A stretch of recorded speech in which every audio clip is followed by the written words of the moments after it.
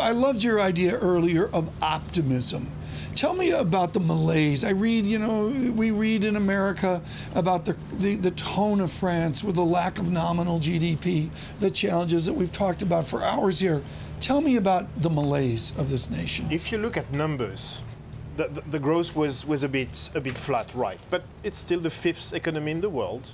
It's a very vibrant demography. So all the projections show that in 35 years it could be the most populated and the younger country in Europe. Mm. It's still an incredibly uh, well culturally speaking, respected country with, uh, uh, as we say, a second number of foreign students coming, uh, second most translated languages. So the impact of France is still high.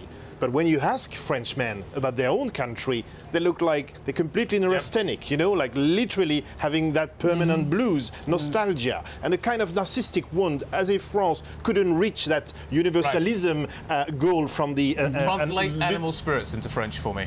Animal spirits? Yeah. Um, I think that they, they want to be that kind of light for the rest of the world. And uh, we need some government. Is it, is it part of the president? French DNA? Is it part of the French makeup to have animal spirits? Is that?